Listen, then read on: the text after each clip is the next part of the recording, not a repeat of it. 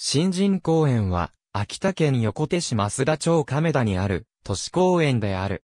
大正天皇即位記念事業として1917年に、旧増田町に整備されたのが始まりである。新人さん一帯を演域とする公園である。新人の名は、清原正人竹則に由来するとされる。造園を手掛けたのは、秋田県内でも、千秋公園、横手公園などを手掛けた長岡アビラである。新人山を背景に、園地の周りに桜、梅、あやめ、ツツジ、リンゴが植えられており、県内屈指の桜の名所として日本桜名所100、1000に選定された。また、1952年6月20日の秋田、伊佐尾新報社主催の第1回秋田県観光30系で第16位に選出された。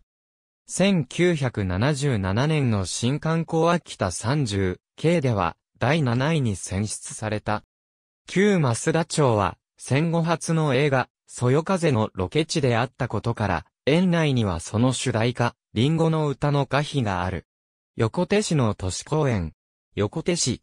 2021年9月28日閲覧。AB、新人公園桜祭り。横手市。2021年9月28日閲覧。施設案内新人公園。横手市。2021年9月28日閲覧。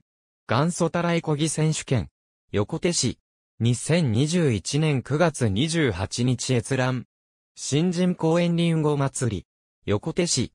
2021年9月28日閲覧。ありがとうございます。